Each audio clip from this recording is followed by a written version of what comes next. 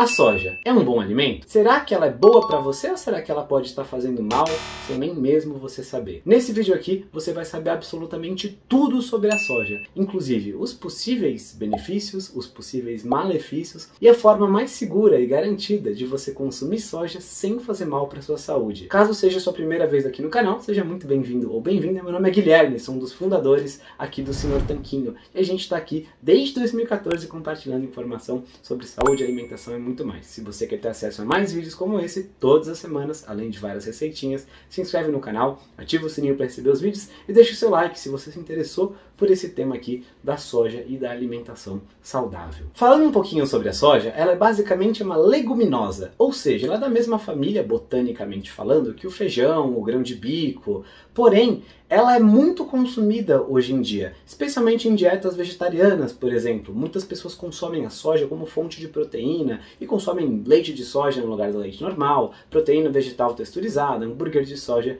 e por aí vai. Porém, será que ela realmente é uma boa opção para sua alimentação? É disso que a gente vai ver. Vamos começar falando alguns potenciais problemas que os estudos indicam que a soja pode ter na sua saúde. A soja é uma das comidas mais alergênicas de todas. Isso significa que uma boa parte das pessoas já não deveria consumir soja em primeiro lugar, porque elas são alérgicas à soja. Outros alimentos comuns que dão alergia, que você talvez já tenha ouvido falar, são, por exemplo, algumas proteínas do leite e o amendoim. E, na verdade, tem vídeos né, sobre dieta sem laticínio, sem lactose e sem proteínas do leite, e também tem vídeo sobre amendoim aqui no canal. Se você quiser saber sobre algum deles, comenta aqui embaixo que eu te mando o vídeo. Mas só para você saber, a soja dá problema para várias pessoas e por isso já não é uma boa pedida para todo mundo. Mas não para por aí. A soja também contém alguns antinutrientes. Antinutrientes, de maneira resumida, são compostos que atrapalham a absorção do seu corpo de alguns nutrientes importantes da sua alimentação. Ela tem, por exemplo, enzimas que dificultam a sua digestão e também tem o ácido fítico, que é um antinutriente que pode atrapalhar a absorção de alguns minerais, como ferro, selênio, cálcio e por aí vai. Então, você comendo esses alimentos e consumindo a soja junto, menos desses alimentos, né, menos desses nutrientes vão ser absorvidos pelo seu corpo do que se você não consumisse o antinutriente junto. A soja também é contraindicada para quem tem problemas de hipotireoidismo, né, problemas da glândula tireoide, porque ela tem alguns compostos chamados de goitrogênicos que podem interferir aí no bom funcionamento dessa glândula. Então, se você tem hipotireoidismo, também vale a pena considerar não consumir a soja. E ela também pode acabar atuando como disruptor endócrino. Isso significa basicamente que ela se liga a alguns receptores de hormônio e pode acabar influenciando o funcionamento dos seus hormônios, especialmente alguns hormônios sexuais. Então, para homens e para mulheres, exagerar no consumo de soja com certeza não é uma boa ideia, pode bagunçar todo o seu quadro hormonal. Com tudo isso, você talvez esteja até pensando, cara, mas então não tem nenhum jeito de eu consumir soja de nenhuma maneira? Na verdade, tem sim. E as sociedades tradicionais descobriram algumas das formas, né? Na verdade, com algumas preparações específicas, a soja pode ser um pouco mais benéfica para o seu consumo. E parece que a forma mais benéfica de todas é com a soja fermentada. Então vamos ver agora algumas maneiras de consumir a soja que parecem ser muito mais seguras do que, por exemplo, comer a soja na forma de uma proteína processada. Daqui a pouco eu vou falar um pouquinho mais também sobre outros alimentos derivados da soja quais que são seguros e quais que não são. Então o que, que acontece no processo de fermentação? No processo de fermentação, a soja ela começa a ser processada por algumas bactérias, alguns micro-organismos, e aí o ácido fítico diminui, né, que é o antinutriente que impede a absorção aí de alguns nutrientes importantes. Também aumenta a concentração de antioxidantes na soja, que muita gente gosta dos antioxidantes, mas tem muito mais na soja fermentada do que na soja normal, e também ela pode ser uma boa fonte de vitamina K2, que não tem na soja que não é fermentada. Além disso, né, comidas fermentadas como a soja, o kefir, o chucrute, essas comidas podem talvez para alguns contextos ter algumas bactérias benéficas para a saúde do seu intestino. Não é para todo mundo, nem é garantido que vai funcionar, mas já é mais uma vantagem comparada com a soja normal. E algumas apresentações da soja fermentada, que são das mais seguras, são algumas que eu vou falar agora. Então a gente tem o edamame, que é a soja ainda na vagem, igual aquela ervilha que você compra na vagem, também chamada de vagem torta, por exemplo, em alguns lugares em São Paulo, né?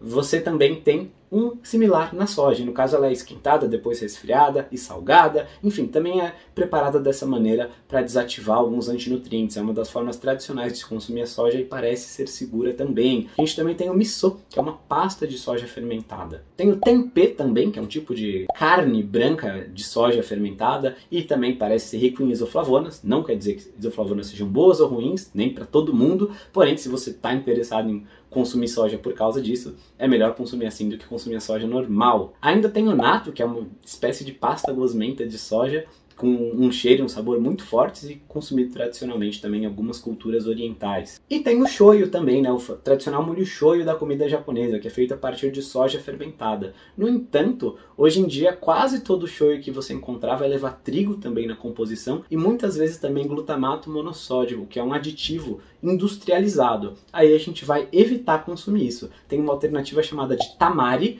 que aí é só a soja fermentada mesmo, sem o trigo, sem o glutamato monossódico, que é uma opção mais inteligente. E você talvez esteja se perguntando sobre o tofu, o tofu que é muito comumente de ser consumido, né? Na verdade, o tofu como a gente consome aqui no ocidente, como você vai encontrar na maioria dos supermercados ou lojas ou restaurantes naturais ou qualquer coisa assim, ele é tipo a salsicha da soja. Só para fazer um comparativo, é como comparar o tofu tradicional feito no Japão, que é fermentado por um tempão para ficar daquele jeito, com aquele queijo tradicional feito por uma freira na Bélgica, fermentado naturalmente, ficar por meses num barril de carvalho e tal, maturando, com aquele queijo cheddar plastificado, assim, que vende no mercado, parece um plástico injetado. Esse é o nível de comparação do tofu tradicional com o tofu industrializado e desse queijo tradicional com o queijo industrializado. Realmente é totalmente diferente em termos de nutrição, de forma de preparo, e eu realmente não consumiria tofu industrializado em nenhuma circunstância. Pois o tofu tradicional está muito mais próximo da comida de verdade do que esse tofu industrializado que a gente acaba encontrando com mais facilidade infelizmente. Agora, vamos falar um pouquinho do chamado paradoxo oriental. Porque parece estranho, né? Eu falei mais cedo que as culturas orientais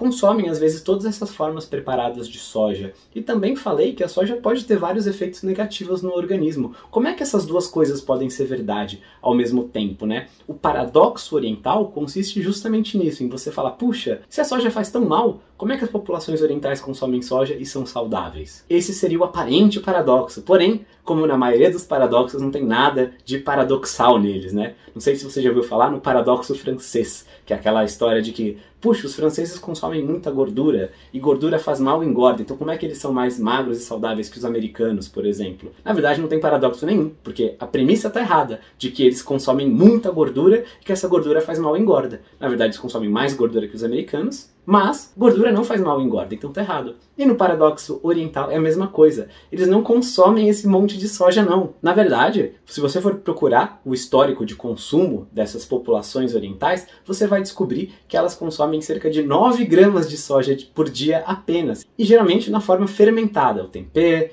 o miso, o tofu tradicional, o shoyu, tamari, enfim, essas formas, e não a soja não fermentada e processada industrialmente. Aliás, só para você ter uma noção, 9 gramas de soja por dia. Sendo que se você beber um copo de leite de soja, iogurte de soja, alguma coisa dessas, na verdade em uma porção você pode ter até 20 a 30 gramas de soja da não fermentada e ainda industrializada. Então, realmente quem que consome mais soja será, né? As pessoas que acabam consumindo isso de maneira diária ou os orientais que usam um pouquinho de shoyu para temperar a refeição? Então, a maneira que a gente consome soja hoje em dia é muito diferente da maneira que tradicionalmente ela foi consumida nessas sociedades orientais, em que ela era fermentada e não era industrializada. Hoje em dia a gente consome mais da soja não fermentada e industrializada. E para fechar com chave de ouro, ou não necessariamente de ouro, né, porque não tem nada de bom nisso, boa parte da soja consumida no mundo hoje é transgênica. A gente não vai discutir aqui se isso é bom ou se é ruim, mas sim vamos deixar claro que é uma alteração genética que ainda não foi testada pelo tempo. A gente não tem certeza quais são os efeitos disso a longo prazo no organismo e na saúde humanas. Então,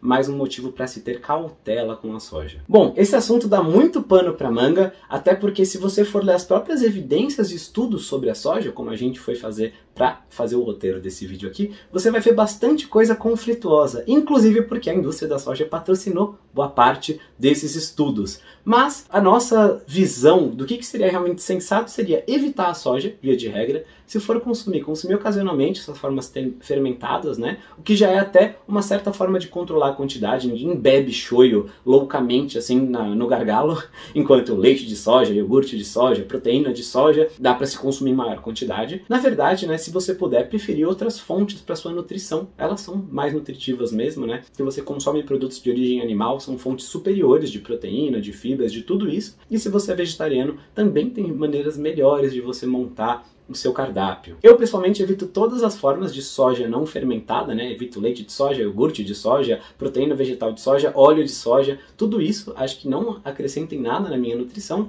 E se você quer aprender a montar um cardápio saudável e se livrar justamente desses alimentos que talvez não façam bem para você e acrescentar os alimentos que fazem, eu vou deixar dois links na descrição. O primeiro é o link do nosso cardápio tanquinho, que ensina você a fazer uma alimentação low carb, cetogênica para emagrecer e ter saúde. E ele é um cardápio onívoro. É o cardápio que a gente usa que mais de 12 mil pessoas já usaram para emagrecer e melhorar a saúde. E o segundo é um cardápio vegetariano. A gente nem costuma falar tanto dele porque é uma coisa um pouco mais focada, né? Um público mais selecionado. Menos pessoas são vegetarianas. No entanto, como eu sei que são os vegetarianos que têm mais interesse em conhecer as alternativas da soja, acho que valia a pena deixar aqui na descrição para você conhecer também. Caso você não coma carne, peixe, frango, porco, etc., queira uma alimentação saudável, sem comer um monte de trigo, grãos, farinha, açúcar o tempo todo, você vai encontrar nesse cardápio low carb vegetariano uma alternativa muito mais saudável. Como eu já falei, vale a pena se inscrever aqui no canal, tem vídeo novo toda semana, tem um tanquinho na tela para você botar o mouse em cima ou o seu dedinho e apertar em se inscrever. Também tem um outro vídeo aqui na tela que eu acho que você vai gostar bastante. A gente se fala na semana que vem. Um forte abraço do Senhor Tanquinho.